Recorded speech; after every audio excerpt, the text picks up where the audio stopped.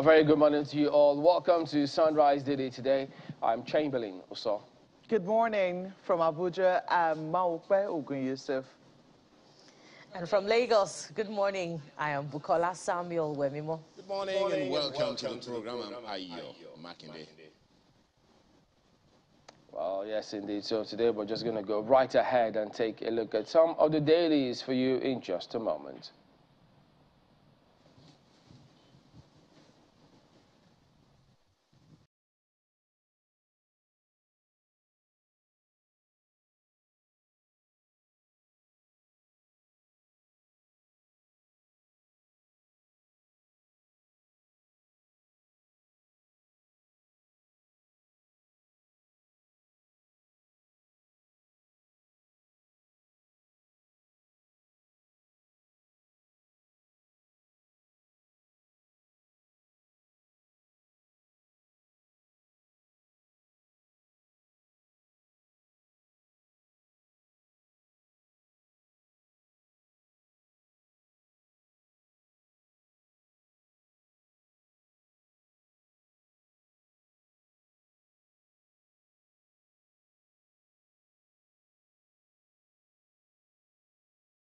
Let's start with the Guardian newspaper here today. World's Day for Poverty Eradication.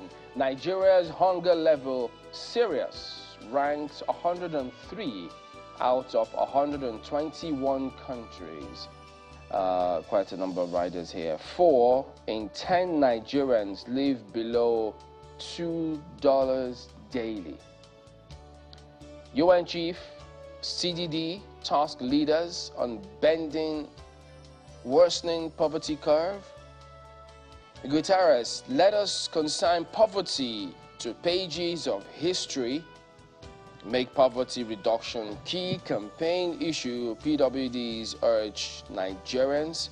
And then you see this one from NHRC, food crisis has worsened hunger in Nigeria. So it is a very, uh, I mean, as the paper puts it, serious uh, challenge that we've got to address here and given all of the uh, several other challenges we see concerning leakages, the budget system, oh yeah, the crude, that's another big one right there. Uh, several reports that you get to see on a regular, almost on a regular basis, especially that one that the dailies did report about the ports, about 400 billion naira worth of goods rotting away at the ports. Can we afford those kind of scenarios if we need to address the issues, especially when we also say we there's a lot of uh, uh, paucity of funds in the country. So we're grappling with so many things, but we need to be seen to be doing something to reflect at least uh, efforts or at least this particular challenge, we need to be seen mm. to be addressing these sort of challenges. If we're ranked 103 out of 121 countries, -hmm. and then the effects, the impact of the flood, I'm not sure it has kicked in as of yet. It so, hasn't. So you can imagine if that does, it hasn't. It will impact on this. You know that normally by by this time we'll be nearing the end of the rainy season, and then after a while it's supposed to be the harvest uh, season, but when you have floods that have swept away rice you know, mills, farms, you, you know that, that, that's, that, that's certainly going to have its impact. So by the time uh, it's Christmas, what, what you'll be seeing won't just be uh, the, the, the, effect of the period, which what normally in Nigeria we see prices go up, especially of foodstuff mm -hmm. uh, during Christmas. It will also be as a result of uh, uh the flooding that we have seen take over many farms. Boy, sometimes you just wonder. Well, yeah, there's also this. Again, Rivers ranks first in fiscal performance. Yes, BudgIT BudgIT uh, oh. did a State of the States, and uh, Rivers was number one on that list. Um, sadly, uh, there are those who were at the very bottom, and it was interesting uh, to see which state was at the very bottom. Oh dear. you might want to take a look at the state of the states put, put together by BudgIT, uh, which caused some controversy over the weekend as well. New Telegraph is the paper I'm looking at for you this morning, and they have this. Uh, they're focusing largely on flooding. Yes, that's the lead story there. FG mulls bilateral talks with Cameroon on periodic opening of Lagdo Dam. Uh, that's what you find on the front page. And I'm just wondering, did, when you say FG mulls, it means they're thinking. Uh, they're still thinking about it.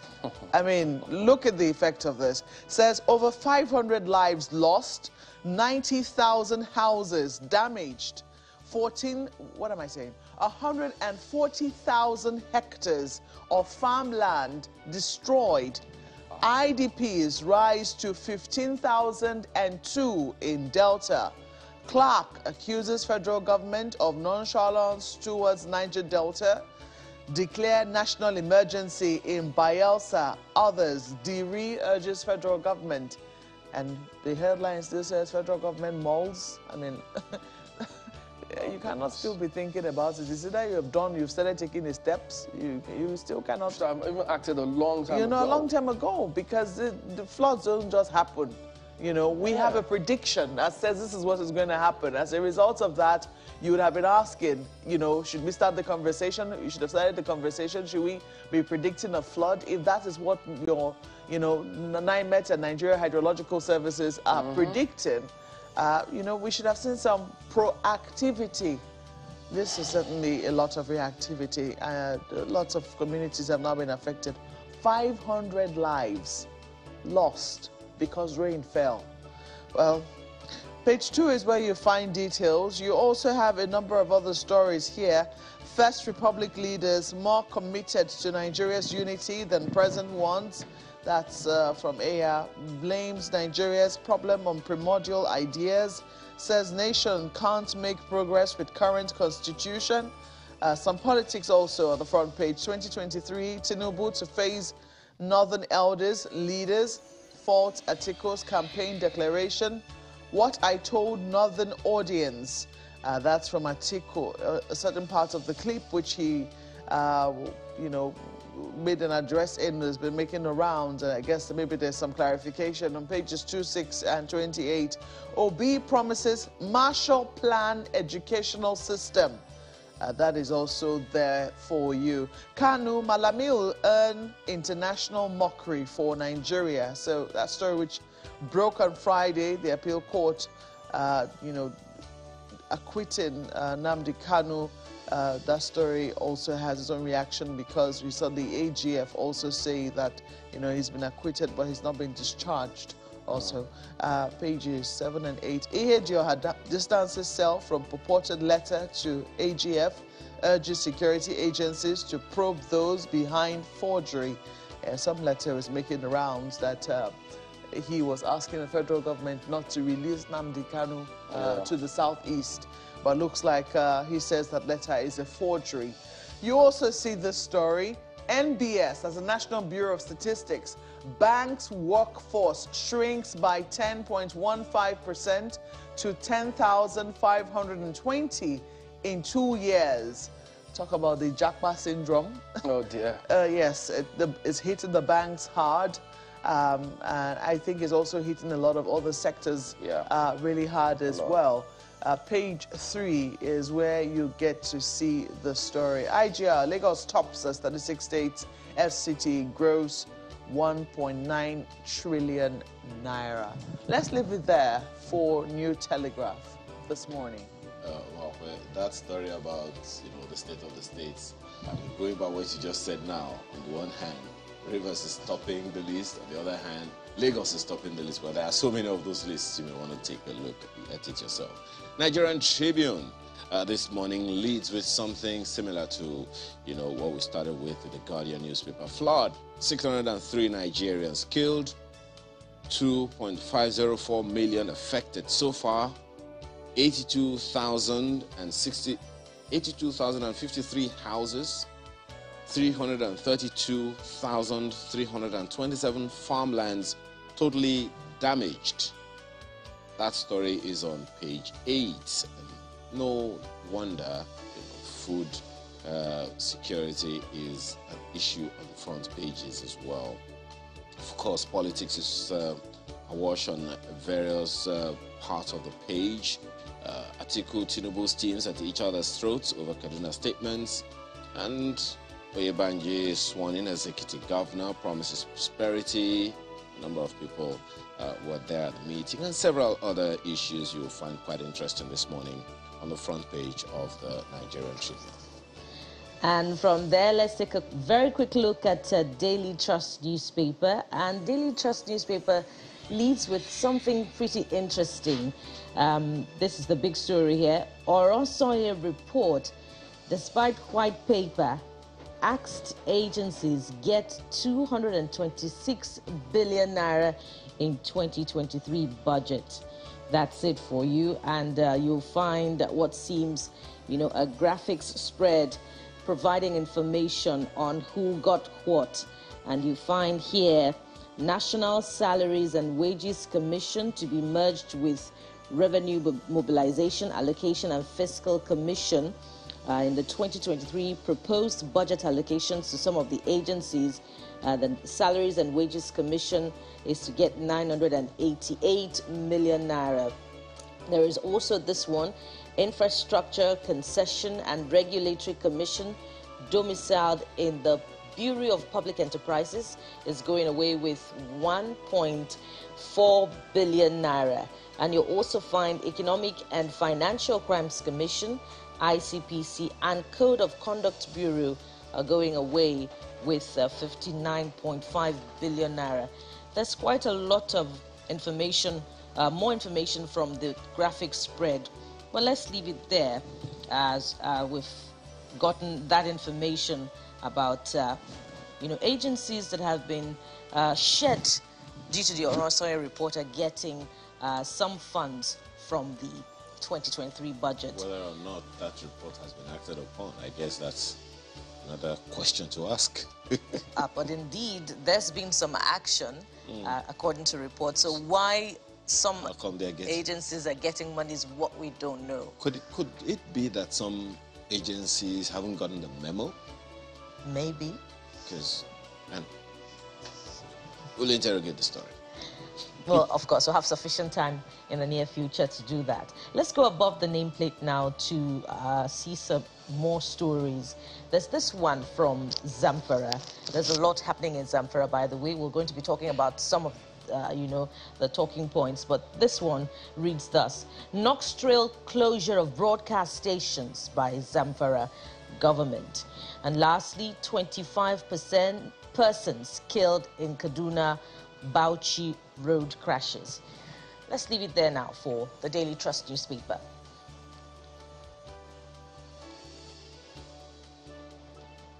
All right, take a look at Vanguard newspaper next. 2023, Atiku, Tinubu hurl verbal missiles at each other. Atiku belongs to a dying breed of ethnic regional politicians, Tinubu. And then you see Tinubu greatest threat to national cohesion, democratic norms, ascribed to Atiku, as Tinubu meets northern leaders today. So that's the big one for politics on the front page here today. Uh, just the beneath that list story 603 dead, 2 million displaced as flood wreaks havoc in Delta, Bayelsa, Rivers, others. So that is a huge one here today. Mm. Um, That's a, a, a, significant increase from the 500 we saw earlier. I mean, when you have an additional 103 people uh, dying as a result of floods. Uh, that's a significant update. I mean, it's 103. One person is bad enough. You now have 103 people more who have lost their lives. I think we have a number of other papers corroborating that particular yeah. number. And unfortunately, over the years, the kind of response we've given to this always you know, leaves a lot to be desired because usually people are never able to you know, recover from this kind of scenarios. And, um, well, there you go. Yeah, you also see P2B flags of campaign, October 25. But, uh, oh yeah, look at the back page. Wow, quite a lot on the back page here today. If we have it, uh, Liverpool 1, Man City 0, Salah's superb finish earns Red win in Anfield thriller. And then a classical, Basel, Real Madrid 3, Barcelona 1. So, um, Real Madrid east past Barca in classical win to go top of La Liga. And then, wow, and Deontay Wilder gets it done inside one round with a KO. What a scenario. So sports has a lot packed there today. Mm -hmm. what a weekend it was. Yeah, but that's Vanguard. Always today. for the men. Well, uh, maybe not just men. Exciting. Sports lovers in mm -hmm. general. The Abuja Inquirer, uh, looking at what's happening right here in the FCT. Federal government warns of more flooding, says 603 Nigerians have died. Anambra, Delta, three others still at risk residents of flood, hmm, flood prone areas for evacuation to send delegation to Cameroon over Lagdo Dam. So that is on the front page of the Abuja Inquirer for you. You also see um, on the front page Nnamdi Kanu Uzodimma, not I, should be afraid, attributed to Ihedioha. So that's what the Abuja Inquirer has on the front page for you. They also have sports on the back page. Arsenal four points clear as a win against Leeds. This is certainly Arsenal season. Uh, it seems that you, you can't so take far, it, so good. You can't take it. Uh, please let them bask in it. You All can't right. take it away from them this time. Just show you there. Uh, Bukayo Saka's 35th minute strike from a tight angle proved to be the difference at Elland Road. So that is also there. Uh, Salah scores to inflict defeat on City. A number of other stories they have for you. Quite an interesting read yeah. on the back page of Abuja Inquirer this morning. Let's leave it there for the paper. This Nigeria is next, and it is also talking about flooding uh, this morning. On its front page lead story, floods of sorrow as the lead of this Nigeria newspaper today. Over 2.5 million persons displaced, 603 deaths. Certainly worrisome indeed, Malboy. 82,538 houses submerged, says FG. Nigerians groan from devastating effects, seek government's assistance to check misery. And all of that's packed on page two pages two and four of this Nigerian newspaper today. Uh, of course, you see uh, right beside the picture of uh, on the front page, Oyebanji takes over as Ekiti governor, freezes bank accounts, appoints SSG. Story is on page uh, four, and right under that one, under the, the picture, Nigeria generates 1.8 trillion naira excuse me, IGR in 2021. That's ascribed to NBS. Lagos, Abuja, Rivers lead other states. Stories on page 20 of the paper this morning. And of course, you find right beside the nameplate, Serap tells Buhari to publish names of oil thieves, threatens legal action. Yes, that's Serap. And that's this Nigeria. And uh, we look forward to hearing the outcome of that. Oh, well. It's a, it's a big talking point. It's a, it's a uh, besides case. the state of the states from mm. BudgIT, that was also a huge talking point over the weekend. But let's turn our attention to the Nigerian Tribune this morning. The Nigerian Tribune, I, I hope we haven't uh, gone through that one yet. We have. All right, so uh, let's take a look at uh, something else this morning uh, as we look at Leadership newspaper. Uh, Leadership newspaper has been following up on, uh, you know, the 1993 uh, mysterious disappearance of the journalist Bagauda Kaltho and this this latest one on it, and it's the big story from Leadership. It says Bagauda Kaltho, America's grave silence worries Nigerian media. It's a page four read. Let's take a look at uh, the riders this morning. Ex-U.S. envoy Russell Hanks fingered in Durbar hotel bombing. Kaltho's death. For one month, U.S. Embassy has refused to respond to leadership's queries. Kaltho's wife, NUJ, others insist American government, federal government, must speak out well, it's a good thing that at least uh, some journalists are providing some consistency in terms of following up on this report and demanding some form of accountability. Let's see how that goes eventually. As we go uh, above the nameplate now to see this one, 2023, Uh, sorry, beneath the nameplate and just above the big story, 2023 APC, Tinubu, others rap article over North's choice comet. Oh, the last is certainly yet to be heard about that one. And uh, let's see how um, regulatory agencies respond, particularly in the light of uh, you know the repeated admonitions and warnings about you know um, the language shaping campaigns ahead of the 2023 election. But that's it for that. As we uh, go above the nameplates to do a check on just um, two more stories before we exit leadership. NNPP advises against endorsing any candidate for North's interest. Well, I wonder if that's convenient or is born of any form of altruism. It's just, you know, a poser there. And lastly, 2023 editors, security chiefs, election managers examine political landscape. That one is a page six read from Leadership newspaper. And that's it for Leadership this morning. Well, take a look at Daily Trust next. Oronsaye reports, despite white paper, asked... Oh, okay. Uh, I think we looked at this one before, have we? Yes, we have. okay. Yes, it just have. looks quite interesting then. Okay, so we'll just go ahead and um, uh, take a look at the very next one that we've got for you here this morning, which is the Guardian newspaper then. And then you see Nigeria's... Uh-oh. Okay, well... Okay, I guess that's it as well. We've done that also. So there you go, guys. That ends it up with a look at some of the dailies here today. We will be back in just a moment. Join us again.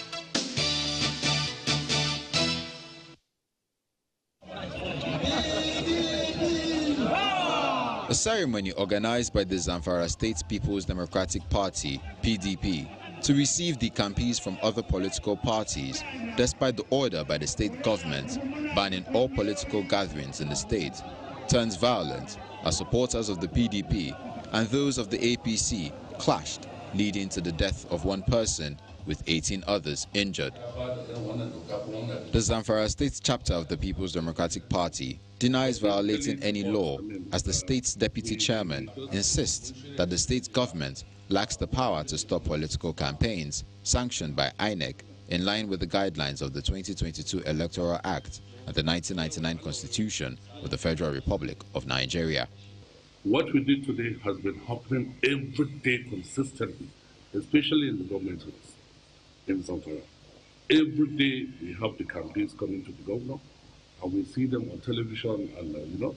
So I mean, we we have never done any activity because the government has told us categorically there is no political activity before the official deadline of INEC, which was on October October. The Zamfara state government blames the PDP for violating the ban on political gatherings which was recently announced by the government to curb the resurgence of terrorist activities in the state. The state's deputy governor, who visited the injured persons at the state specialist hospital, alleges that the People's Democratic Party members had attacked 18 environmental sanitation workers who were performing their duties at the Gusau GRA during the major opposition party political activity in the state, in spite of the ban on political activities till further notice. About 18 people were there now on the bed. We have said the government has already announced no any political rally, no any political gathering within the state. till after the situation is okay, till after the situation is calm. But to my surprise, one of the aspirants under People's Democratic Party has made has gone beyond and he has shown that he's above the law. As the blame game continues, the Zamfara state government has ordered the closure of the Nigerian Television Authority, NTA Gusau, Federal Radio Corporation of Nigeria, Pride FM, Ganji FM, Ganji TV, Al Umar TV for covering the PDP event in the state.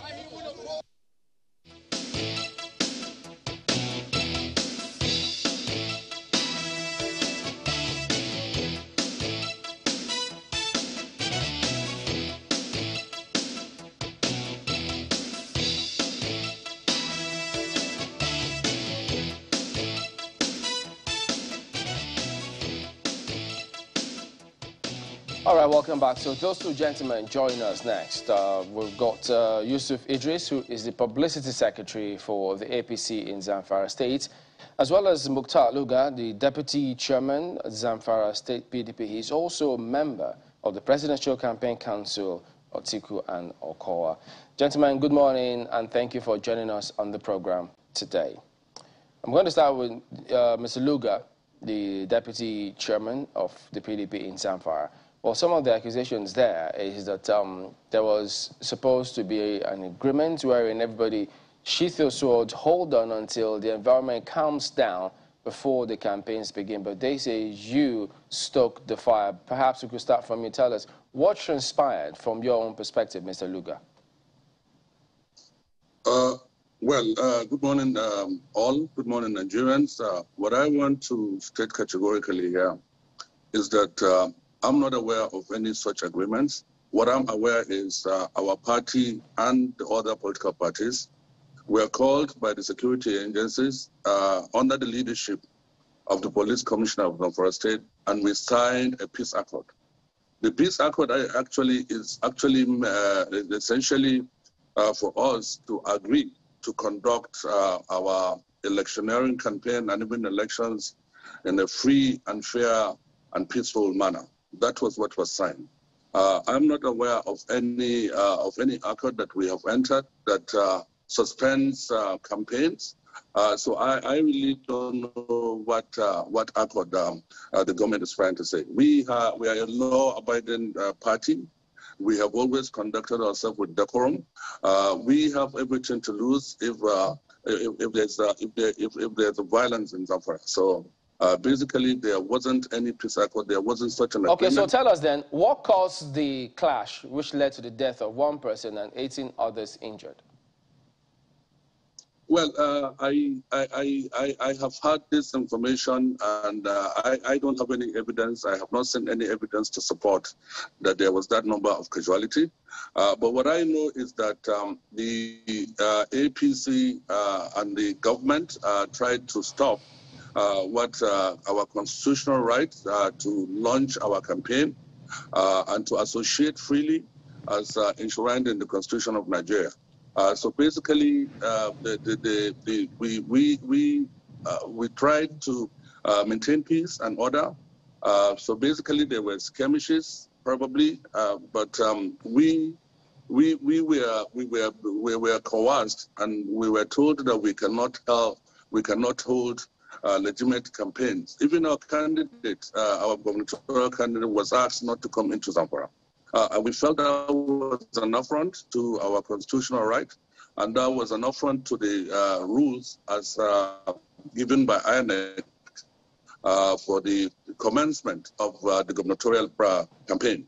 Uh, so that was what happened. I, I don't know anything. Uh, I don't know how, where the government addressed its power to stop uh, this free association, which was uh, which is fully in line with the INEC calendar uh, for the commencement of, of gubernatorial campaign. So, All right. so, so basically. Okay, let, us let, uh, go to Mr. Idris because I mean uh, we've heard your perspective of what transpired, and then um, the APC in the state, uh, Mr. Idris, you can go ahead and tell us them because they say the party, the APC, is trying to stifle their uh, constitutional right to go ahead and campaign. What is your own account of what transpired? Well, good morning, Nigerians. Uh, the issue is quite simple.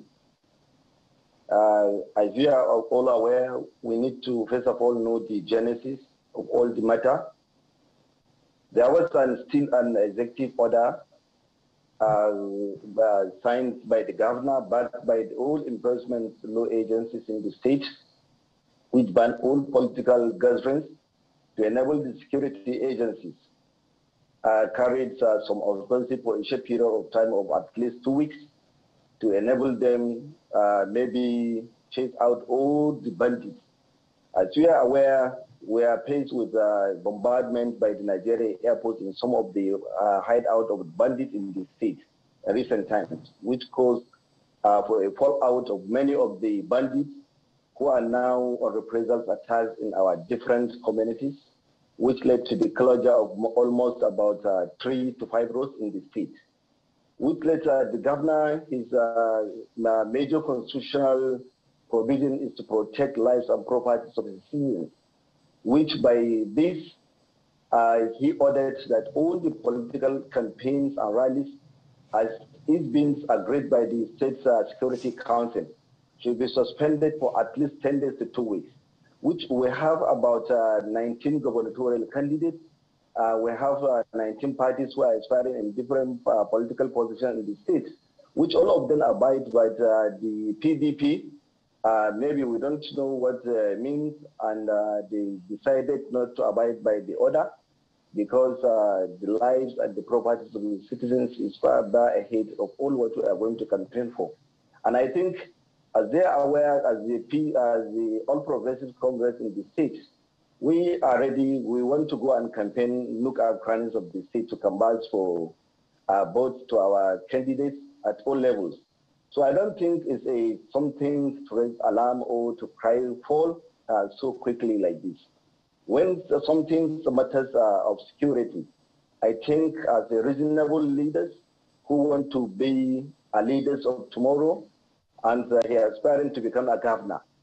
And why should he uh, there is uh, supervised open shootings on the innocent citizen, which kills one person and many others are still uh, hospitalized. Uh, Mr. Idris, just a moment before you go further.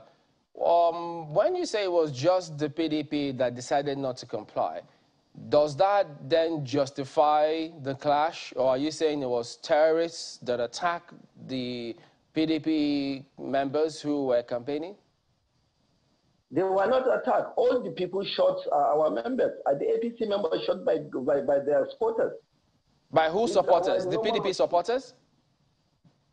The APC supporters were shot by the PDP thugs who were brought in. I believe maybe some of them are even bandits because they are wearing camouflage uniforms. So how, how did you know that they were PDP thugs? Because, because, because they, they, have, they have shot them. What really happened at the scenes of the incident? You know, in Zamfara State, we have a program called YECO, where most of the youth are engaged uh, in uh, weekly sanitations. They are taking their, uh, their work at the GRA site, where the PDP are doing their, they are doing their rally, their illegal rally. So when, when their supporters are passing, we don't know why they got the right to use guns and what have you to be shooting people sporadically.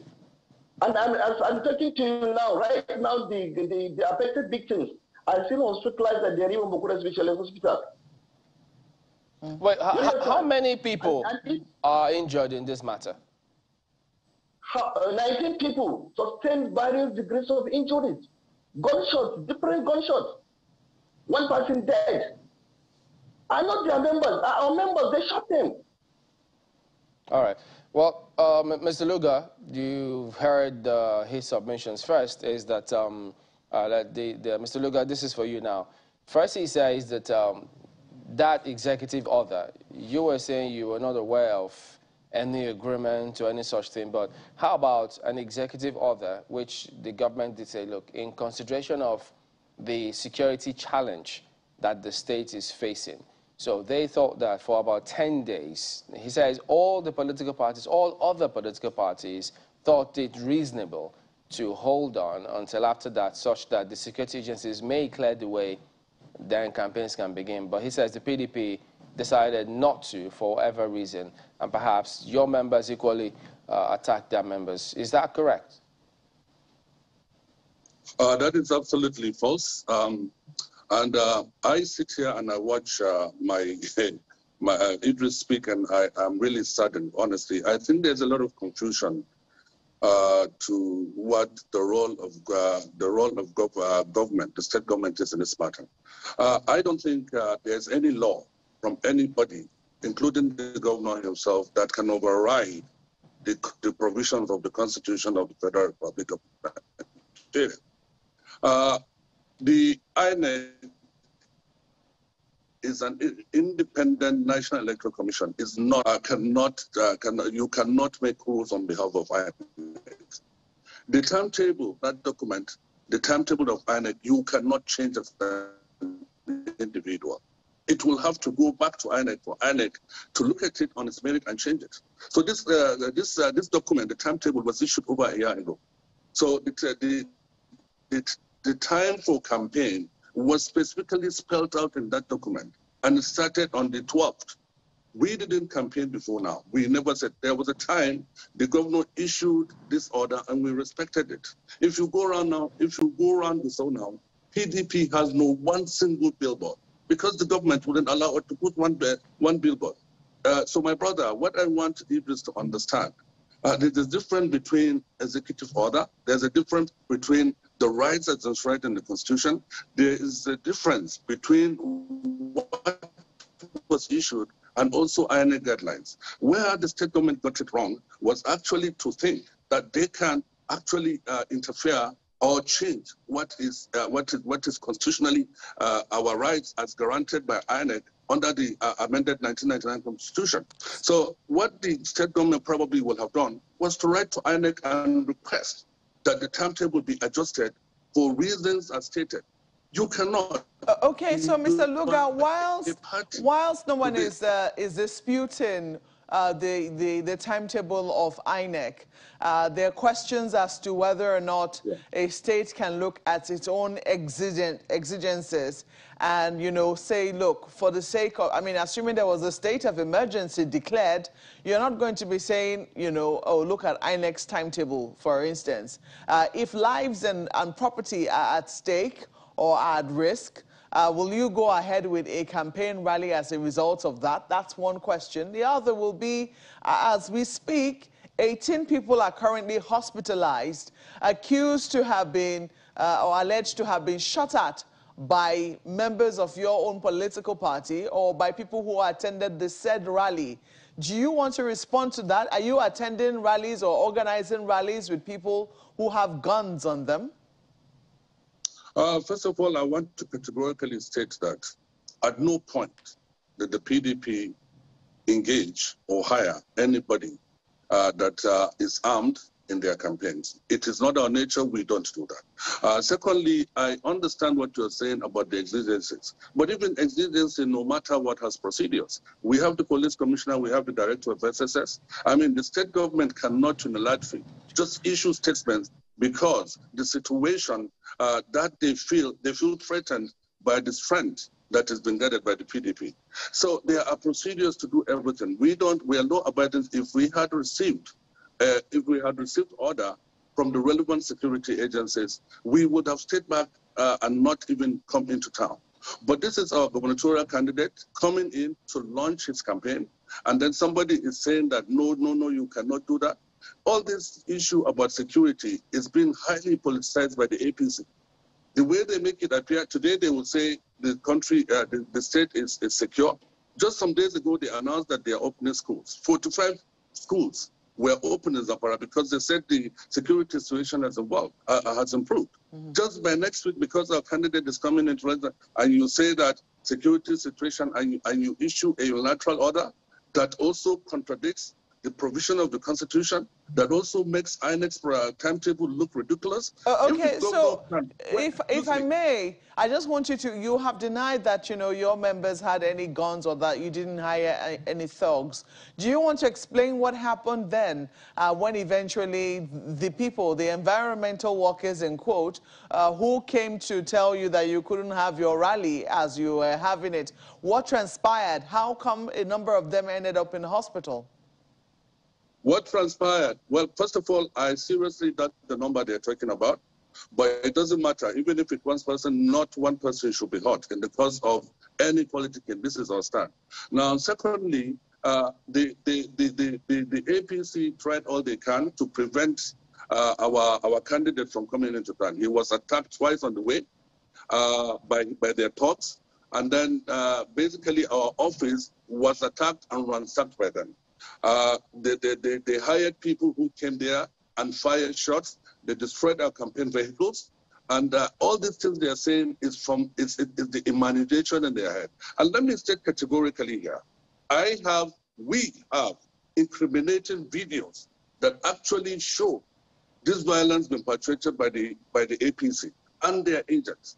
I am exercising doctrine until I have shown it to the security, then we are ready to release it. So whatever Yusuf is going to say today, uh, we are going to hold it against him.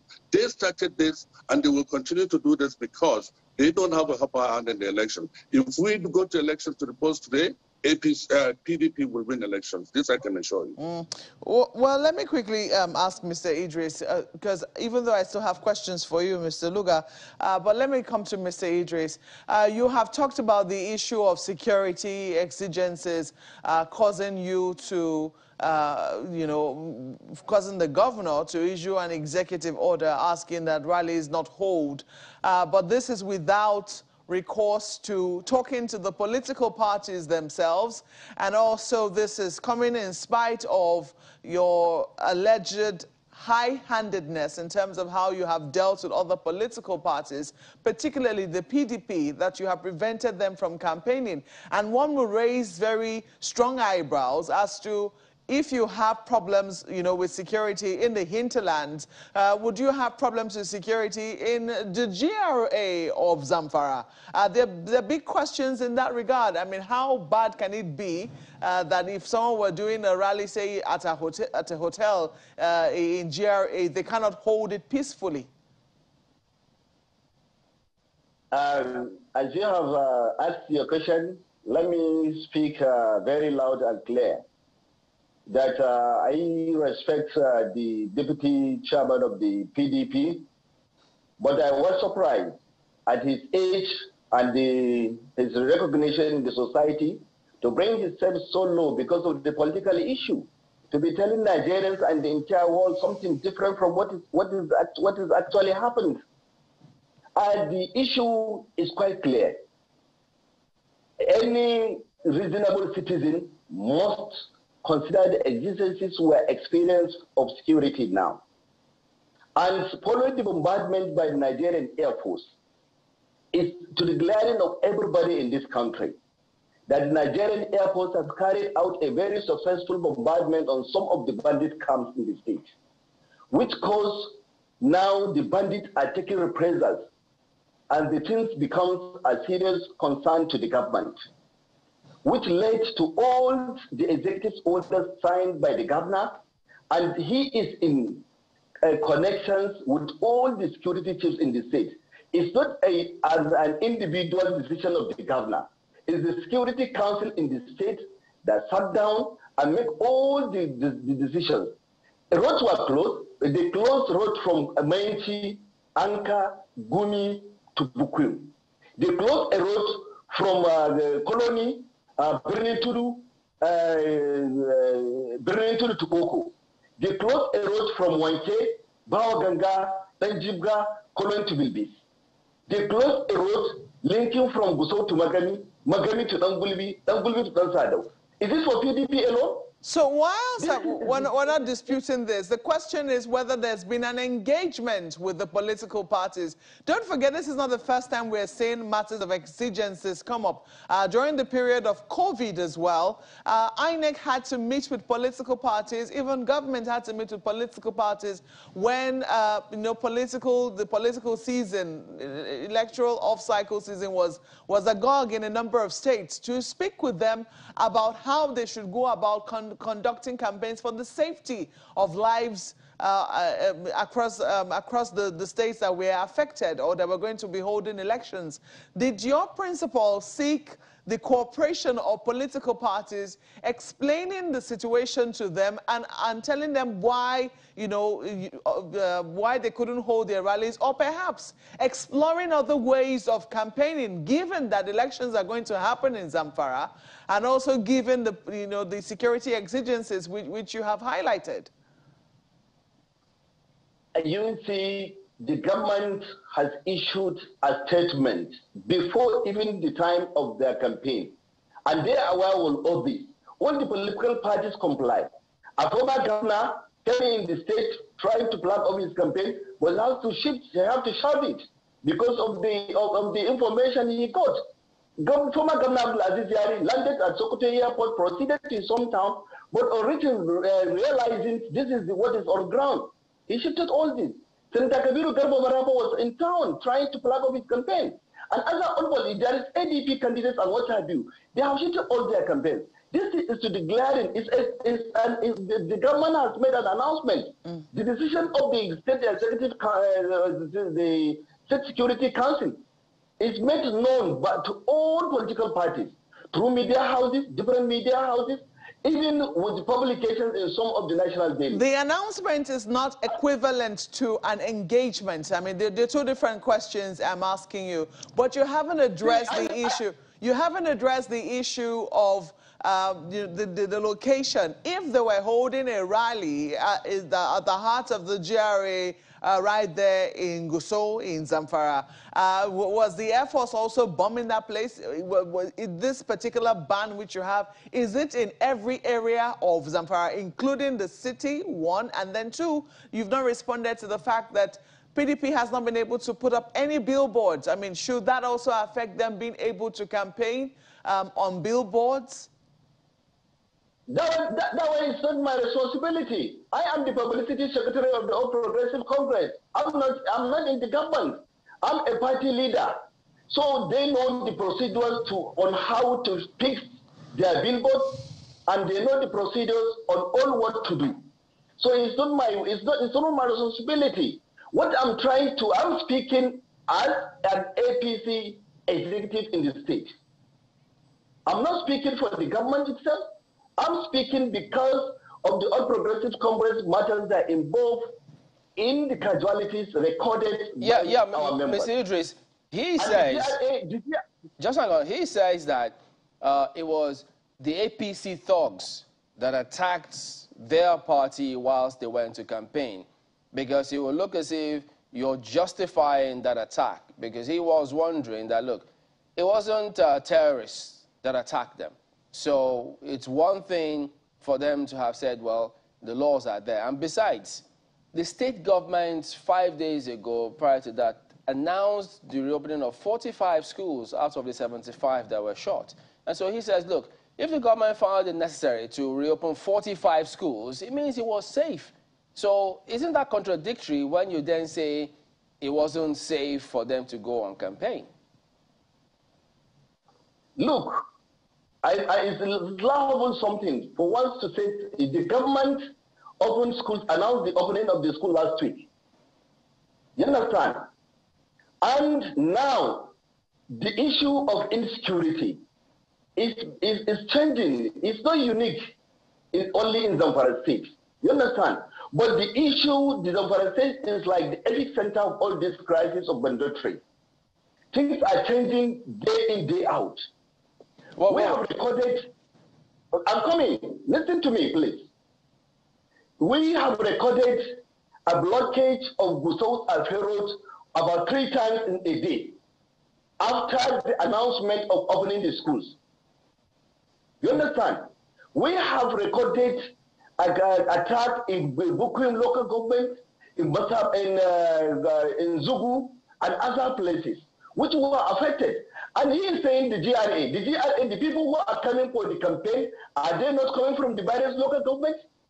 Well, well, well Mr. Idris, you, you said a while ago that it is not your responsibility to address certain things, that is up to the state government. Now, if the state government announced yes. the reopening of schools, is it now your responsibility to say, no, it is not safe because of what you highlighted, and so they cannot campaign? Come again. I know you heard me. No, I don't heard you. Well, you said a moment ago that it was not your responsibility, the party's responsibility, to decide where the PDP will put their billboards or not. And now yeah. you're saying that it is not safe that things have changed for them to campaign because you witnessed one or two things in somewhere or someplace.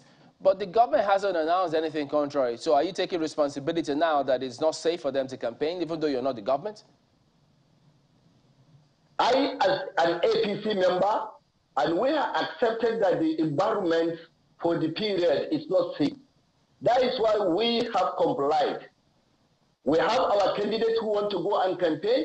We have our schedule to. We have even started making uh, uh, making campaign in some of the uh, what within well, the South that, capital. That's besides. We have, we have to comply. Okay, so has the state government made any contrary announcements concerning the safety of reopening 45 schools? The government announced even the closure of the schools in all the areas I have mentioned earlier. I heard you previously. I'm asking you now. Ever since that announcement that 45 schools will reopen in Zamfara, which means it's safe, has the state government made any further announcement saying it is no longer safe since you say things have changed? The government even even even uh, even announced the entire shutdown of about three local governments. No, that's not my question. Where the schools were, I'm coming. Where the schools were initially announced the, the, the, opening of the schools. You understand? And now three local governments, Gumi, Bukkuyum, and Anka, were totally shut down. You understand? Because of the issue now. Mr. Idris, the question is, ever since the government announced reopening of 45 schools, you say things are not yeah. safe. Have they cancelled that announcement? The government, how, how, will they now go to the school eh, eh, despite the closure even of the road and the, and the local government and the local government, three local governments? The place is not safe now. Mr. Idris, has the government made any contrary announcement saying those 45 schools can no longer open because it is not safe? Yes or no? He he announced the closure of the three local governments, not even to say about the, the schools. Okay, so you, you, you, want, you want to respond to whether or not they've cancelled that announcement because there's no such announcement. They've not announced that 45 schools can no longer open because it is not safe. So uh, if, why, he categorically, hang on, he categorically accused your party of sending thugs to attack them. So are those thugs taking laws into their hands now because he said it's your party members who took laws into their hands to attack them and not security agencies telling them you cannot campaign because it's not safe. There are two different things there. See, the issue of attack, if our party members attack them, I expect uh, their party members to sustain various degrees of injuries, you understand, or even to be killed.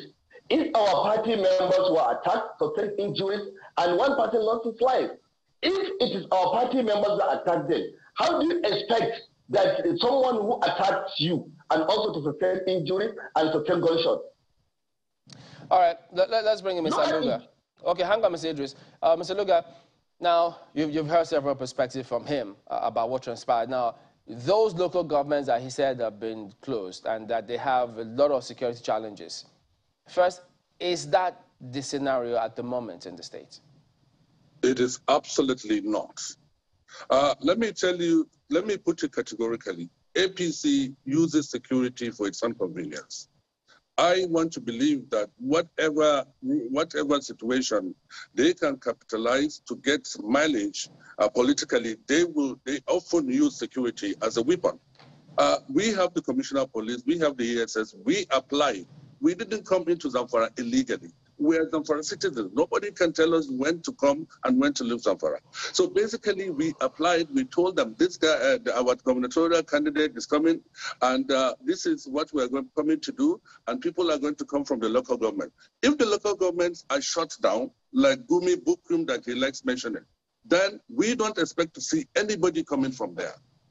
So, so we, it wasn't. It was a. It was. A, it was a gathering that was done inside a private house. It wasn't even done outside. It was done in the house of the gubernatorial candidate. It had a gate. The police sent six vehicles to supervise. There was no time that we got any contrary uh, information. We didn't hold the rally. We came into town peacefully. We entered that compound. We did our activity. We departed. Nothing happened. They tried to smuggle people to be to, to ensure that that ceremony or that event did not hold. I have videos of their talks attacking our vehicles. I have videos of people shooting periodically. I, I, I am trying to get security clearance to release this material. I want Idris to, to really subtitle because certain things he's saying is going to test his credibility for a long time. I mean, and another thing that baffles me is the ruling party, APC, is also the, the, the government of the day. So where do you get this your people and my people from? I thought we're all supposed to be your people. The government should be aware that every single citizen in Zamfara is, is, is the government's responsibility, Idris. Yeah, so but... I deserve protection from government.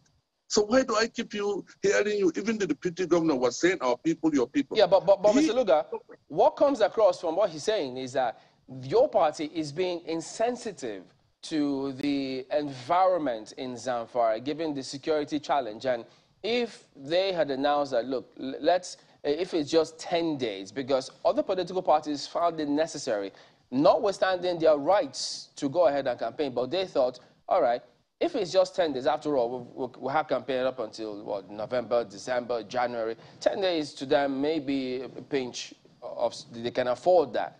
But he is suggesting that your party should have seen the same scenario.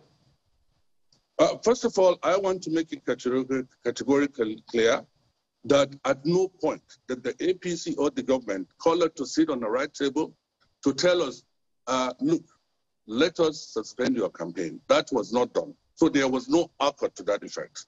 Uh, secondly, we got the news on the pages of social media just like everybody else. Uh, we waited for the security to advise us accordingly. That, uh, that advice uh, stopping us did not come. I want to commend the security agencies because they are very thorough in what they're doing. They remain apolitical, apolitical in all this. Uh, another thing is, I told you, everything has a procedure, especially when you're talking about constitutional rights of parties and individuals. So you cannot get up and waive a constitutional right. This is what I'm saying. I don't have any issue. The, the, the, the, PDP wouldn't have any, any issue if the if only the government or the APC had approached INEC and told them that this is we need you to adjust this timetable accordingly. Because the issue here, I keep saying, is that if they manage, if, if the APC and the government of the day can suspend an entire an entire uh, you know calendar, an entire to say that no, we are going to discard this uh, INEC calendar and suspend, uh, you know, campaigns. I mean, what stops them from doing that when it's elections time? So we need to understand the limitation of the powers of the state government. It does not stretch to the fact uh, of trampling our constitutional right. So we cannot do something with impunity. We don't have any issue. If the government feels that there is a security issue at stake, then they should follow the right channel. Just the other day, the same government came out and said they have they, they have closed all the te television uh, and uh, radio stations in the state, including the NTA. Include, I mean, that is impunity. yeah, we'll, we'll, we'll come to that when we return in, in a moment, uh, Mr. Luga. But the thing is that um, uh, one person is reported to have died, and so he, at this point, cannot be talking about his rights or not. So those are considerations we also have to factor in. But give us a moment. We'll be back after the break.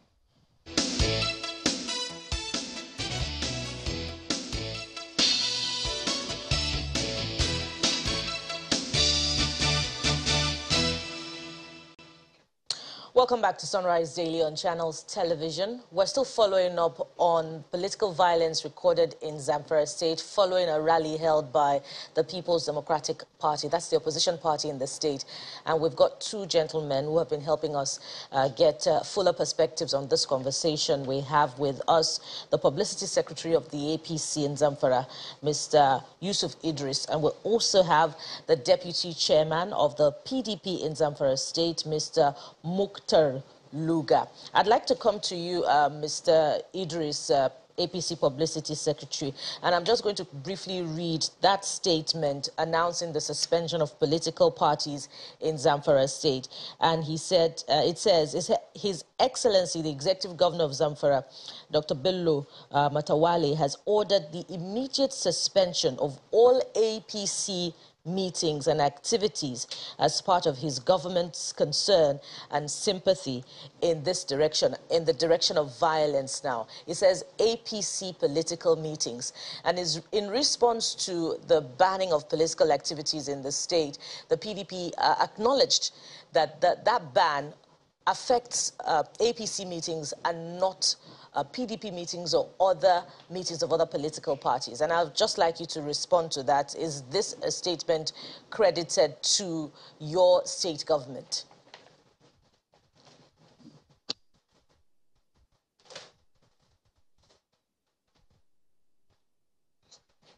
Mr. Idris, the question is for you.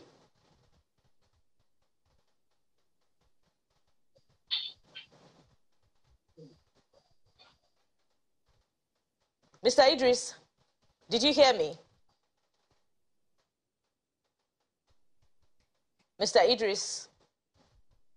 Okay, I'll, take the question again. I just read for you a statement uh, attributed to your state government announcing the suspension of political activities. And it announces the suspension of political activities affecting meetings of APC and not uh, the PDP or any other political party. And in response to that, the PDP uh, uh, says that uh, that announcement only affects political meetings of the All Progressives Congress and not the PDP or any other political party. So I'd like you to uh, confirm or deny that this statement was indeed issued by the state government. And if it was, um, why the um, you know, concern over the meeting held by the PDP um, if the announcement of the suspension only affects meetings of the All Progressives Congress?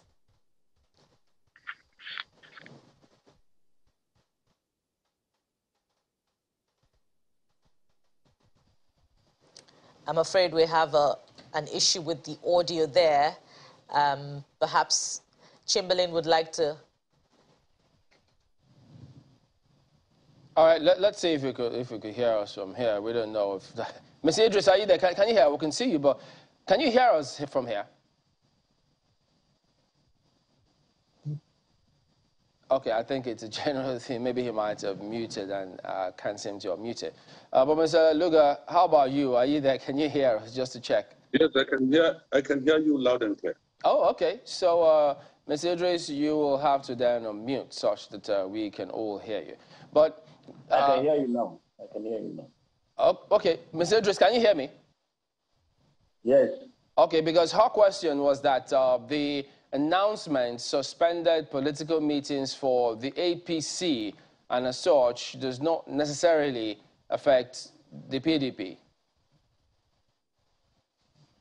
Uh, let me tell you something. The constitution of the Nigeria he's speaking about or he's uh, maybe explaining about. I think the essence of making a constitution in any uh, country is to ensure the protections of lives and property of the citizens. I don't think a constitution will guarantee or allow a place or create a place where uh, to, uh, to the, the PDP to be in possession of firearms or to be using killing innocent people and is the, is the, is the provision of the Constitution. As you have, as you have speak earlier, uh, the government is not violating Oh, or maybe contravening the Electoral Act or the Constitution. What I'm saying in my own view is very simple. For one to campaign for about four months, just a 10 days, that's two weeks, will make him not to win an election. Understand? But the main issue is that, the main issue is that, apart from the, they are among the 19 political parties standing an election in Zamfara State. I think if 18, I mean 18 political parties, if 17 will comply, I think it is irreasonable for one political party. But, but Mr. Idris, what uh, the point that Mr. Luga was trying to make is whether or not 17 political parties complied, it doesn't invalidate the fact that they have a right. An executive order cannot, it's not superior to the Constitution and the Electoral Act, which also gives you that permission to associate freely and move freely in this context. Are you suggesting that because of the executive order, every other person, every other law falls flat on the face of the executive order? If the party is reasonable, and if the political party has its people at heart, you are going to lead at people. You are not going to lead at animals. No, when you cause the, there are two different things. The law, is the, the, law is the law. It's not about the emotions. The law is the law. So counter us from the point of the law. Even, even, even the law grant, even the law permits, or it is in the constitution. But when you see something that is going to affect the entire citizens of your state, or it will affect some parts of your citizens, as reasonable somebody, I think even without even the executive order from the government, as a party that want to. We, we hear you. We hear you on that, but it's besides the point of the law that we're trying I'm to not, pass. I'm not saying. I'm not saying. I'm not saying he, they, they, they, they don't have a constitutional right to do. You understand? Yeah, because it, it, it, comes across as though you're justifying the actions taken by the thugs, which he says are political thugs from APC who attacked them. You seem to be justifying it because I haven't heard you condemn them.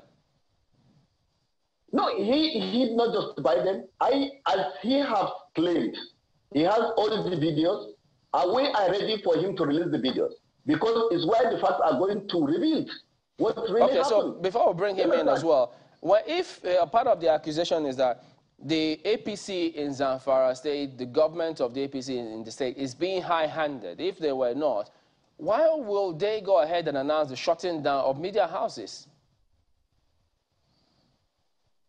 See, it's not the issue of hardness in terms of that direction. The, all the media houses are the ones who announce all the decisions taken by the security council. You understand? They are now, after making all the announcements, you understand? And they enlighten the public about the dangers and the issues. Now they go ahead and collaborate and with the PDP to breach what they have even told the public. It's contradicting. In other words, the state yeah, government constitutes itself as the complainant and then the judge in the matter to unilaterally shut them down, even though there are laws and procedures required before that can happen? There's not, this, this government, maybe because the, the, the information reaching out there is not correct. So what is the correct what thing? I read and what I see in so, I'm, I'm, I, let me tell you, what I have seen and what I have read in the state, that the state government sealed the media houses, does not shut the media houses. It only seals the media houses. Mr. Idris, if you seal because the media house... The, it doesn't have the right...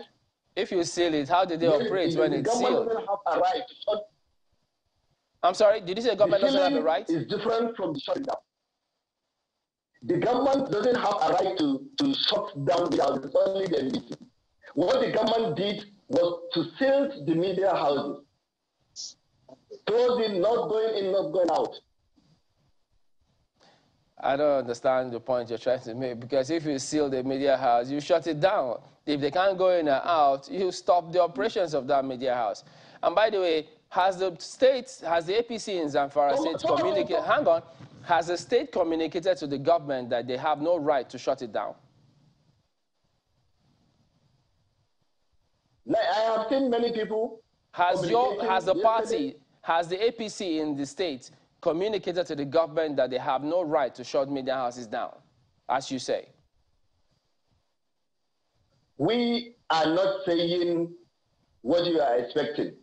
We are 100% with the governor's decision as the ruling party in the state. So why did you tell us that the government has no right to shut it down if you support what they did?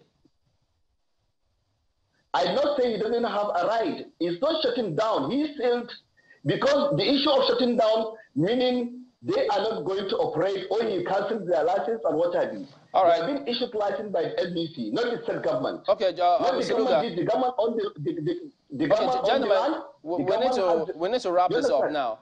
Uh, Mr. Luga, given what has happened and what the current situation is now, what would you suggest? Mr. Luga, this is for you. What would you suggest should be done to ensure that not just APC and the PDP, all other parties can campaign peacefully because in spite of the rights that everybody has, has in the states, the person who is dead now cannot be talking about the rights and we cannot afford any injury, let alone the death of anyone as a result of political campaigns.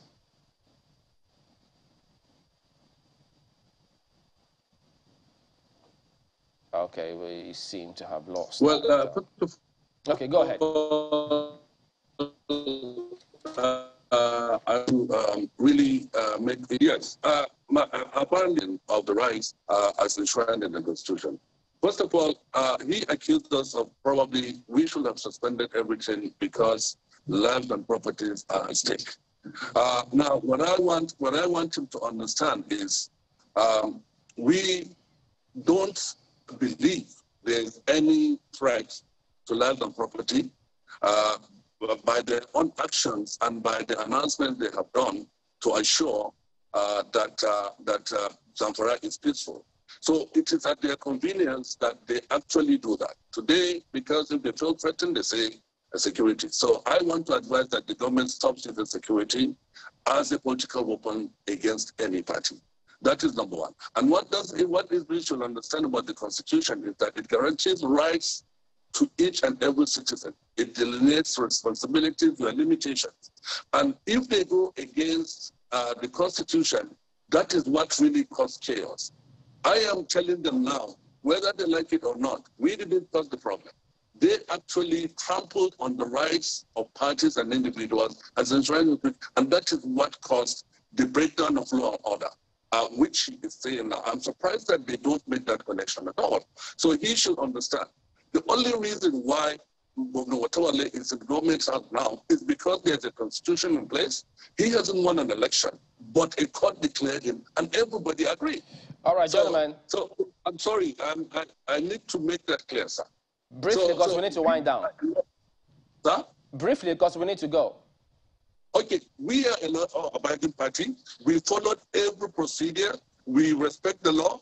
We are trying to keep everything within the Constitution. What we don't agree and what we don't subscribe to is the issue of impunity that somebody feels he can trample on the rights of parties and individuals as enshrined in the Constitution of the Republic. We will continue to respect anything that connects uh, security, and uh, we will abide by all rules and regulations, and right. no amount of threat or intimidation will make our party uh, lose footing all right, as then. we are certain that we're about to give uh, Zamfara the dividends of democracy. Okay, Mr. Luga. Uh, and then, Mr. Idris, much as you say that uh, the party supports what the governor has done, but it also needs to be on record that uh, no governor is above the law in this country.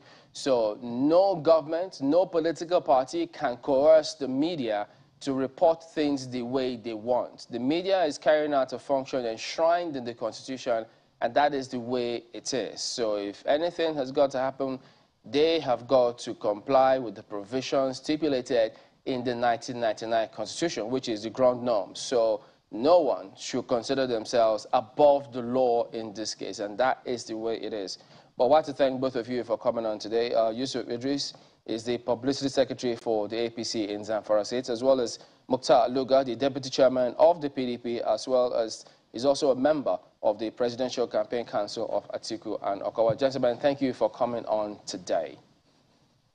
You're welcome, sir. All right, so we hope that security agencies will also be on top of their game and ensure that uh, they be seen to be obeying the law, no matter whose ox is God, because the campaigns are just warming up and we cannot afford these kind of scenarios where people lose their lives because of political parties or politicians. We'll be back in just a moment. Don't go away.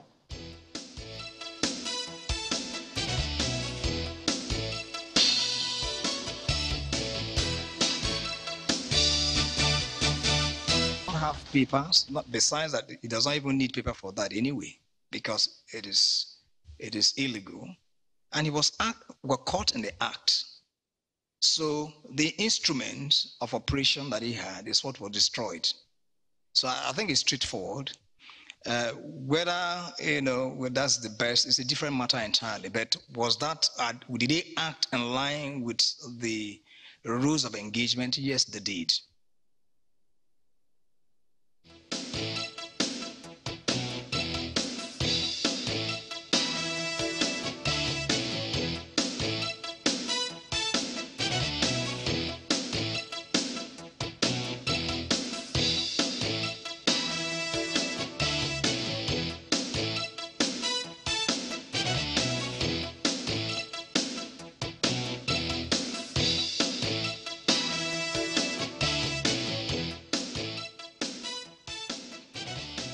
Course, reactions, reactions have trailed that uh, comment coming from the Chief of Defense Staff. And one of them is that of Mr. Femi Falana, who joins us this morning, the Senior Advocate of Nigeria. Thank you so much for joining us today. Thank you very much. Good morning. Before we go into that, if you don't mind speaking to some of the issues just raised about political violence starting, um, well, taking place in Zamfara particularly that comment, you know, with which Chamberlain closed, that security agencies ought to be on top of their game to ensure that these things don't spiral out of control. One life has been lost and several people have been wounded already. Well, violence is part of the game as far as members of the political class are concerned because uh, there's nobody to bring them to book. Really? Oh, yes. Not even the laws?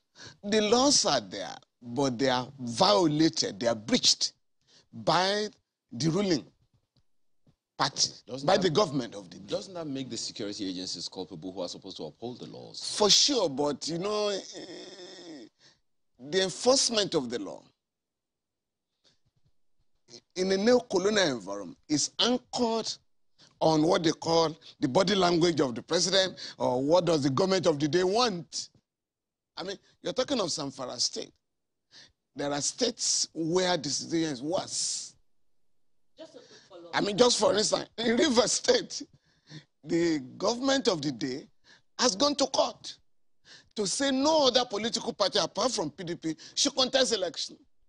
The governor has rolled out policies that will make it impossible for other political parties apart from the ruling party to even stage rallies and campaign so, but what has the system put in place? By virtue of Section 145 of the Electoral Act 2022, it is the INEC that is empowered to prosecute electoral offenders. And INEC has made the point abundantly clear that it doesn't have the, it's not in a position to add managing elections to the prosecution of electoral offenders. I think last year, July, the Senate passed the bill, Electoral Offenses Commission Bill. Up to now, the House of Reps has not passed it. And the elections are just a few months ago. Just a quick follow-up to that, sir. Um, you know, when it comes to matters of insecurity. You know, state governors are quick to say that uh, they're not in control of the security apparatus, that the commissioners of police report to the president. But in this case now, you know, we find that security operatives were on ground, uh, according to the PDP deputy chairman that was here. And despite that, the violence, you know, persisted and it spiraled out of the control to the extent that uh, one person died and the other persons were wounded. So what happened in this case? If you know the way that the security operatives looked on and the violence continued. If you know the way the police is uh, funded, you will know that majority of police commissions are the beck and call of the governors. Apart from the payment of the salaries of police officers by the federal State governments are fully in, in charge in terms of providing logistics and payment of allowances to mobilize the police to carry out their functions. So, in that kind of situation, it is difficult for the to say that governors are not in charge. Hence, on the eve of elections, commissioners of police are transferred out of their commands in order to ensure that there is some facade of neutrality on the part of security forces. Well, the, another, perhaps in the same breath, still talking about Zamfara, is that comment, you know, that uh, the state government, well, the APC representative that, that we've interviewed just said um, they the state government didn't shut down the stations, it sealed off the stations. And of course, clearly my colleague was befuddled. what's the difference between sealing off so that no one can go out, no one can come in, and shutting down the, the, the organization so that they can't operate, you know, at all. What, in your opinion? I think whoever made that statement is playing on words. But he just, and whether it's sealing off or closing down, you know, it's illegal. Fine, but so what should happen? What should, what kind of punitive measures should happen so that no other state government will be able to do that? The victims have to go to court. And this has continued because media houses, including yours, never challenge the authorities when your station is shut down and you have to go and pay millions of naira without anybody taking you to court. You have to pay illegal fines and you pay. So unless media houses are prepared to challenge authoritarian tactics and practices. It's going to continue. Well, perhaps, you know, you know, one of the arguments talking about oil theft thing, one of the arguments that I have also proffered is, look, if state governments can be as active as what Zamfara state did, couldn't state governments also have gotten ahead of these oil theft things? Yes, I mean, it's not under their authority and all of that. But there is the argument that, look, maybe state governments should actually step up security as much as they can to protect facilities that, I mean, that, that, that frankly speaking, country. The Constitution prescribes that governors are chief security officers of the state. And therefore, they must ensure that they put in place a mechanism to guarantee law and order. So you cannot, as a governor, throw up your hands in helplessness. No, you must take those steps allowed by law to guarantee law and order in your state without using the instrumentality of the state to harass your political opponents. Everybody must be treated equally under the law.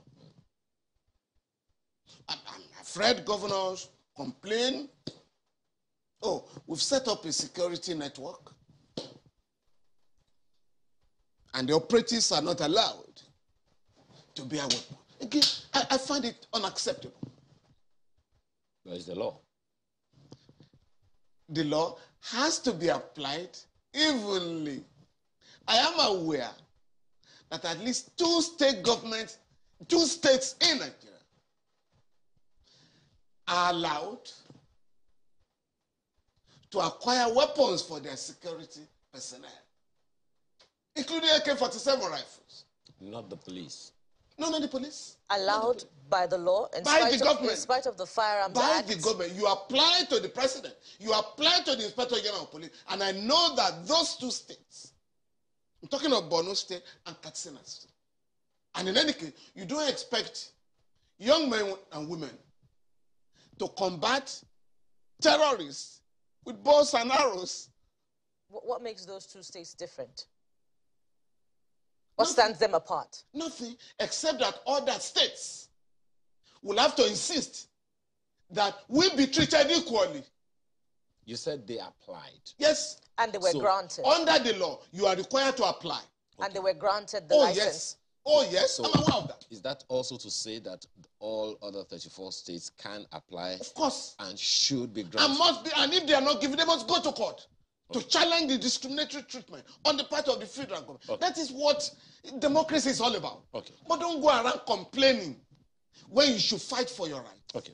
Now let's go to the oil theft, you know, issue. Uh, one of the things that that still worries me is why it seems like even state governors cannot, within the precincts of their, you know, uh, territories, especially in the Niger Delta, do whatever they can to protect the oil facilities the River State government, for instance, at some point, the governor went around and said, look, I've discovered this, I've discovered that, I've discovered that. And River State is not the only oil producing you see, state in Nigeria. Unfortunately, unfortunately, the oil producing states or the governments of the oil producing states have generally left the issue of security, have abandoned it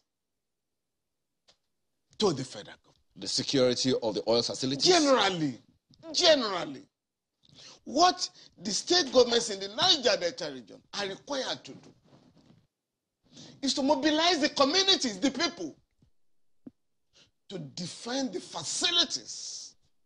But you have a situation whereby all manners of task forces under a democratic government are set up manned by military personnel. And these guys operate as if they are not under the law. So the governors simply see this business as that of Abuja. And, so, and that is what is going on. But what you are supposed to do under a democratic government is to acquire modern equipment to monitor all pipelines. Well, that's the business of the federal government, right? Yes. At the local level, the communities must be organized by the state governments. So it's to a, defend the facilities. It's a joint operation at that level between the state government and the federal should government. Be, should, should be. be. But right now, the federal government has excluded the state governments in policing the Niger Delta. So in all that you read about, nobody mentions the state governments. And the state governments on their own have not made it their duty to secure their areas. And that's why we're in a mess. So can, can Delta State, for instance, stand apart and says it doesn't know anything that happened in Forcados for nine years where crude oil was siphoned? So can the state you governors... See, you see, you see, again, we're diverting attention. That criminality has to be properly traced and tracked to Shell and the so-called international oil majors who have in their offices their laptops where they monitor what goes on anywhere in the area of operation. So why do you keep on blaming our people? Oh, we're blaming the state government. Can the state government say it's not aware? Who owns the pipeline? Who owns the pipeline? It's like saying you have a car, right? For running your business. And for nine years, you are not aware that the car has been abandoned. I beg your pardon. Our people should not be insulted.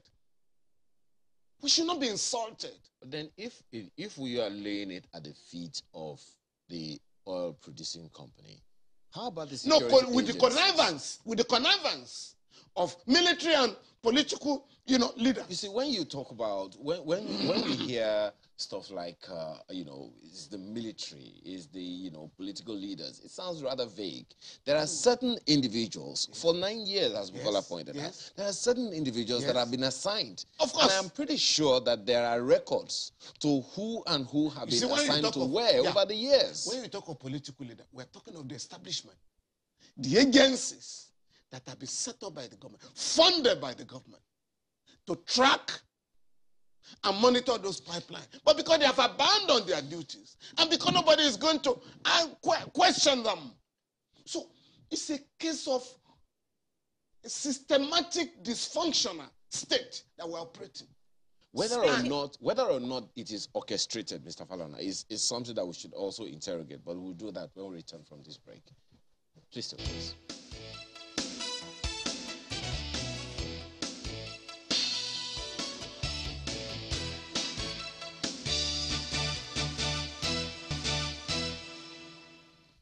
Well, uh, Mr. Femi Falana is still with us this morning. We're talking about this whole crude oil theft thing. First of all, let, let me, you know, as we continue this conversation, are you surprised? Are you shocked? Are you in any way baffled by the quantum of revelations that have happened over time? I ask that because the president and a sizable number of people over the years have said our fuel is being stolen. And it's not once, not twice, not thrice that this has been said. So that we are making these discoveries so so far, you know, the discoveries that have been made now. Is this something that surprises you? No, not at all. Uh, I, de I defend uh, a number of communities in the Niger Delta against oil pollution at home and abroad. So I'm not in any way taken aback. And nobody in the Niger Delta is surprised. And when you talk of discovery, I beg your pardon. I, I think it was Punch newspaper, uh, the editorial that put it very, very well. When he said that discovery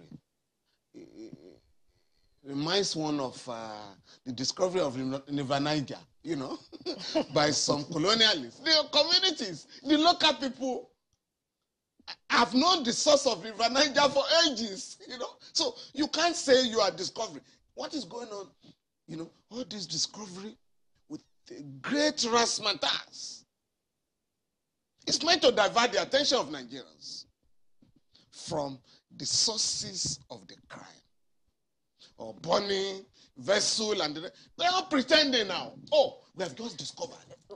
That, oh, there are criminals. I was asking a question about, about leaders earlier on. Yes. We've had a minister of petroleum for nine, for eight years, who is Mr. President, and this theft has gone on under his watch. What questions of accountability? No, the oil theft started 22 years ago. And every regime promised to deal with it. But what, quest what, questions should we be asking of Mr. President as the Minister no, of now, Petroleum? Now, this time around, we should be asking the Minister of Petroleum Resources to give explanation to Nigerians. Because our OPEC quota now is 1.8 million barrels per day. We are barely producing 900,000 barrels per day. And the GMD uh, uh, uh, of NNPC went to the National Assembly a few days ago to say, oh, we are losing 600,000 barrels per day.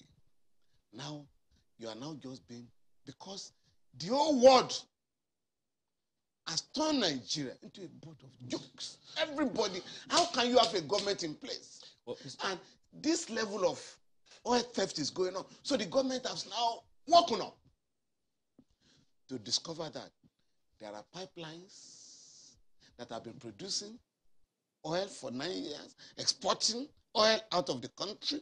So we have to do something about it now. But, but we have not got to the root yet. So what, what where would be the, what would this root be for you? We must identify if we want to stop it once and for all. The government must identify, expose, name and shame all the companies and public officers that are involved in the oil theft. The companies are known I know some of them by the nature of my work. A few years ago, we told the government, we did a study. The oil that left Nigeria and discharged in one port in America, Philadelphia port, was about 60.2 million liters, valued at $12.7 billion. Within we sent within three years, years, one port. We sent a petition to the government, to the EFCC. A top official of the government. Don't investigate, don't mind them. In frustration, we had to sue in court. We're in court against Shell, against Total, against Chevron, against Agip, and some shipping companies that colluded with them to take our oil illegally out of the country. One port. There are other ports all over the world where our oil has been stolen and taken to. Now, if the government is committed today the and, and, in, trace, and suit, to trace the countries and ports where our oil has been taken to, in that suit, senior advocate, you've mentioned four oil companies. Yes. In that suit, yes. are government officials also named because th that uh, quantum of oil could not have been stolen without the connivance of some state government, no, no, federal we, government officials? No, we don't have the evidence. We deal with evidence as lawyers, but we have the evidence of those who took what out of Nigeria within a period of three years. Now, within those now, three the, now the duty of the government. But the government wasn't interested mm. to now say, how did this oil get out of Nigeria? Which is the question, raises the question of security officials. Because they were loaded somewhere. Which is, which raises the question of security officials, uh, Mr. Falana. No, there's no doubt about that. Nobody has denied the fact that security officials are involved. Nobody has denied that. But then in fact, that is why everybody wants, every military officer wants to serve in the Niger Delta. But you also... being a, a, member of the task force. You released a statement recently concerning this, uh, the, the destruction of some, you know, uh, of the vessel of oil, you know, vessel and Yesterday. all of that. Yes. Now, the reason for that. I am I mean, asking that the chief of defense staff, who came out publicly to defend her, be brought, be asked to resign. No, no, no. Because we must start somewhere. We, I agree with you, but before we even get to that point, there must be some because he went with the GMD of the NNPC yes. to the to the Niger Delta to look at some of these things, you know, that were, uh, you know, those points that we talked about. They went whether for the photos or whatever it is, they went there. It's Okay, fine. However, shouldn't we be asking the military and whoever else, Navy, all of them in the military, to answer questions? No, that, who is who specifically should be answering this? That is what I started yesterday. But uh, let us start with the chief of defense staff that has come out publicly, General Irabor, Lucky Irabor, to say, yes, we have the right to burn the vessel. How? He said, under rules of engagement. Under what section? Under what paragraph of the rules of engagement? And I have come out to say, under the Armed Forces Act, section 111. 111. Burning a vessel, burning a ship, burning a building. It's a serious criminal offense. If the suspects are convicted, it's life imprisonment, no option of fine. So it's not something you can just poo-poo. That, that, that's so we are bound. Section. Well, no. Falana, that's the section on the screen now for everyone to see. Yes. Section 111, subsection B, yes. speaks specifically to uh, any vessel, ship, aircraft, railway track, or wagon, or vehicle, or thing, you know, that such a person is subjected to, it has committed an guilty of arson, arson. and liable on conviction by a court martial to imprisonment life for life. Yes, that's is, by a, minute, a person under service law. That so, that person will also be court-martialed by sure. the military. Yes, but that's what the law says. So what, what rules of engagement is the chief of defense staff quoting? No, you should be asking him. There's nothing that, like that. There's, there's no such provision action. in the rules of engagement. And the rules of engagement have to be read subject to the law. Oh, yes. So nobody has challenged the fact that this is the law. That any military officer, any military personnel that sets fire deliberately and willfully to a ship or a vessel is committed an offense. Because under the law, all those who were engaged, who were engaged in oil bunkering, you know, and hired the or bought the vessel have to be arrested and prosecuted. Then the court, only a court of law in Nigeria, can make an interim order of forfeiture of the vessel. If they are eventually convicted and the case is concluded, the court will make a permanent order, final order of forfeiture. No military officer, no political leader in Nigeria has the right to say, go and burn the vessel in the event, containing yes. stolen crude oil. Which, Nobody has the power in Nigeria. Which could be evidence. No, it's evidence. You know, that is destruction of evidence. Now, the, the, the National sorry, sorry, Assembly. It's another offense. It's another offense altogether. Destruction of evidence.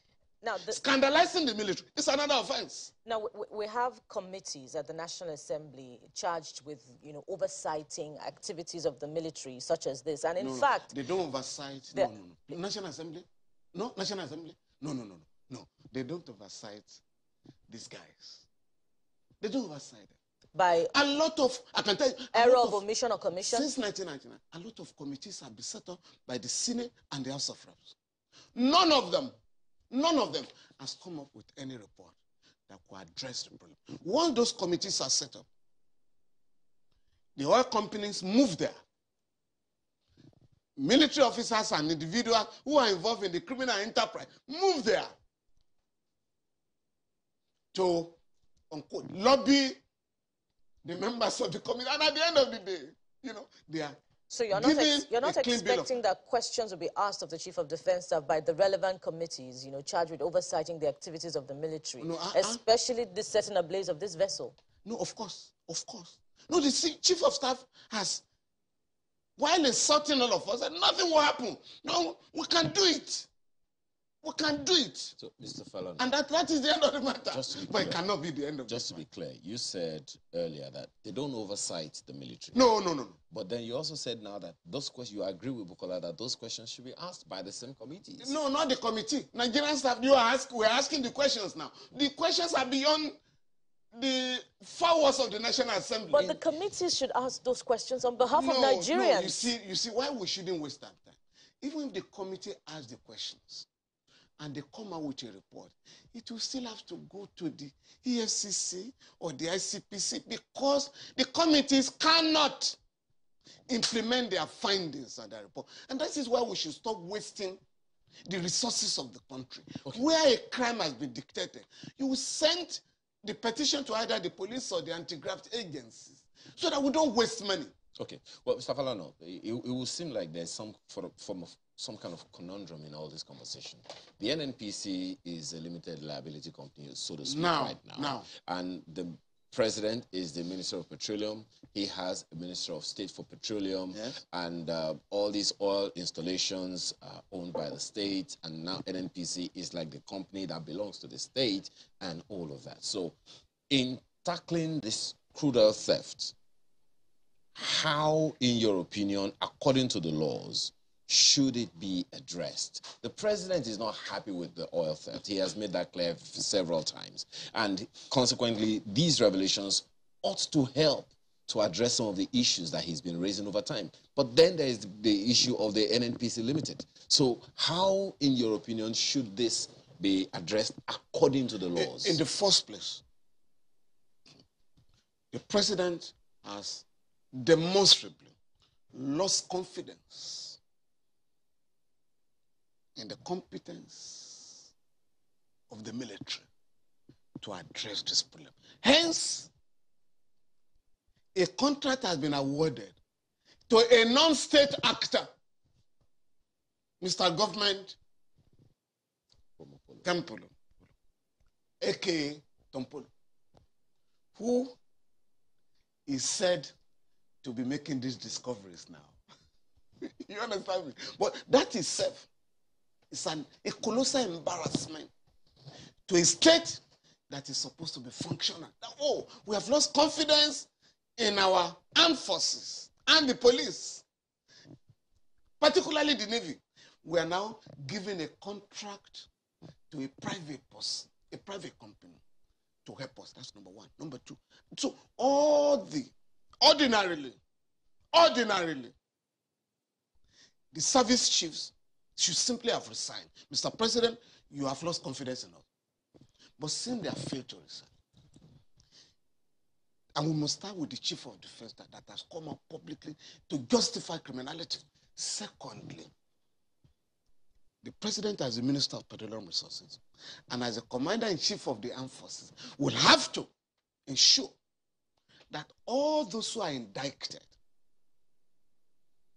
in this act of oil theft are fired. It cannot be business as usual. Otherwise, it's going to continue. Three, the oil companies that are involved. Because those oil companies are so powerful. They are more powerful than the government. This time around, the federal government of Nigeria must show that we're in charge of this country. Mm. And therefore, go after the oil company. If the government wants information, it is out there. We are ready to uh, assist. I've just told you of one case. Another one.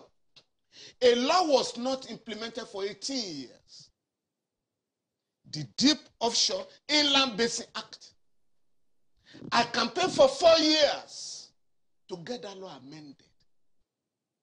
And the oil companies, government officials just ignored me. At a stage, we even drafted a bill for the amendment and sent to the National Assembly. I think the Senate, you know, a member of the Senate adopted it and it was discussed before uh, uh, the, the, because it was abandoned. Now, what happened? At the end of the day, three state government went to court, Rivers, Bayelsa, and Akwa Ibom, on that matter. And the Supreme Court said, go and collect the money, royalties for 18 years. The government discovered that what we have lost was $60 billion. The Attorney General wrote to the oil companies, thou shalt pay. The Minister of, this Minister of State, in the Ministry of Petroleum Resources, Mr. Sylva, came out publicly. You can Google.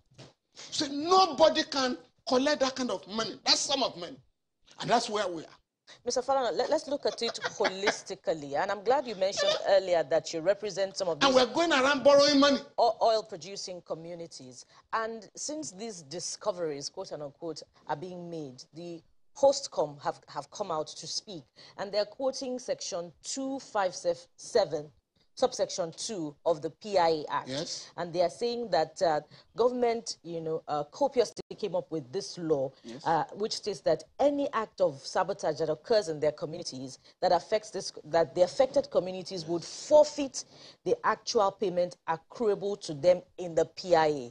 Do you agree with this? It's an illegal provision. You, because you, you agree that it's an illegal It's an illegal provision. provision. You cannot punish me. You can't punish those communities for the criminality of the people we are trying to but, but then how, how identify you, now. But then how do you tie it back to the discoveries of the River State governor of so many illegal refineries which could not have gone on See? without them tapping illegally into crude you oil? you know what happened? What happened is that it is the government that determines how law and order will be enforced in a country. If the communities discover and since, as, as it is the case in Nigeria, that the government is not committed to eradicating oil bunkering, if they discover that security personnel deployed in that area to check oil bunkering are deeply involved, what do you expect the communities to do? So that's what is going on. But please, let us get the communities properly involved. Let the government return to the rule of law. The government must without any further waste of time, inaugurate, reconstitute the Niger Delta Development Corporation, okay. which was contributing to tracking this uh, oil theft. But know, now that body is not reconstituted. Mr. Falana, I, am wondering how we're going to take on the host communities without involving the states. That's a conversation that ha that has to take up take, take no, the states some have to. subsequent. Oh yes, I agree with on, on this one. I agree um, with you. You know, because it's a lot, and of course, a, a you know why all this? Not just the oil producing state, all the state governments in Nigeria. Exactly. Because we're losing so much, you can't get money from the federation account well, because the money meant for development of the country and unfortunately, it goes back to the same communities because they have to. Yes. We have to thank you very much thank this you. morning, uh, Mr. Femi Falana, Senior Advocate of Nigeria, thank you for your uh, comments this morning. Truly appreciate it.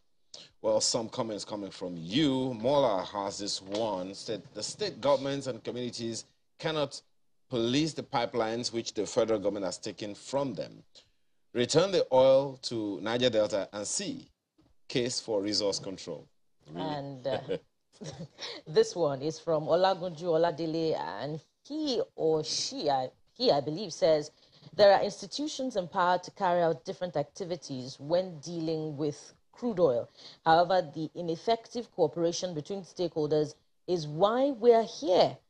Operational adaptability and synergy amongst all stakeholders is key to managing such cases. That's it for Olagunju. Ejikeze says you will always struggle if you try to differentiate between shutdown and seal off. However, I appeal to all political parties in Zamfara State to uphold the value and worth of human lives. Nothing can replace a human life. That's from Ejikeze. Well, bottom line is if you struggle, you can't operate. So um, that's just what it is. Well, look at this from uh, Henry talking about Zamfara political crisis says, whereas it's convenient to castigate the state government for arbitrarily shutting the media houses, truth be told, the PDP ought to have successfully challenged the state government order that suspended political activities in court before holding the rally, unless the governor is no longer the chief security officer of the state. Both have erred, but the situation has revealed another gaping hole in our electioneering management system. Let the relevant authority address this now, he says. Well, there you go. That wraps it up with uh, the program here today. We thank you all for watching. We'll see you again tomorrow. I am Chamberlain, so have a good one. Can't believe Monday has just started and Sunrise Daily is already over. Well, thank you so much for sticking with us this morning. I'm Maupe Ogun Yusuf. Yes, thank you also from this side of the divide for sharing your day with us. I am Bukola Samuel Wemimo. The week is just starting. Make the best of it for the country. Mayo Makinde, have a wonderful day.